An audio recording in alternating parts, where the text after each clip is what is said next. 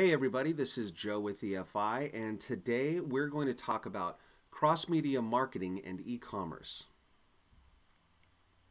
For a long time now, DirectSmile cross-media marketing has been a premier way for companies all around the world to attract new leads for their products and services, target those leads that become prospects based on what we know about them, and communicate with these prospects and customers through all the marketing channels available in today's digital world.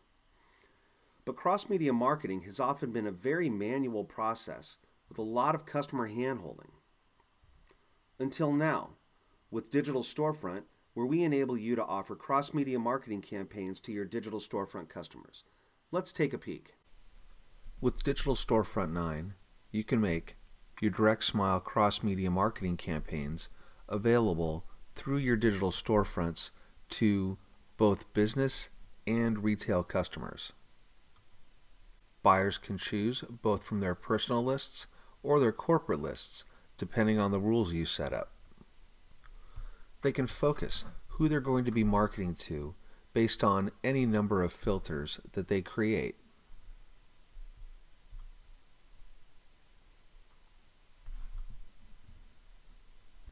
And best of all, right here in the web browser, they're able to tailor each piece of the cross media marketing campaign to their specific needs based on brand protected assets provided by their corporate marketing department.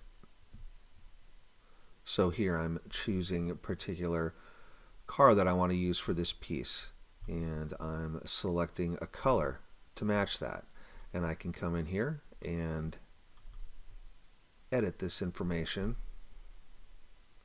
as I go, even inserting variables. So I'll come in here and I'll say first name, comma, your leasing contract expires soon. So what I'm doing is I'm adapting the marketing message to what I want to do as a particular buyer, but it's all based on the assets that were provided as part of the campaign template. I can do this for each piece of the marketing campaign, regardless of whether it's a print piece or an email piece or a landing page or a text message.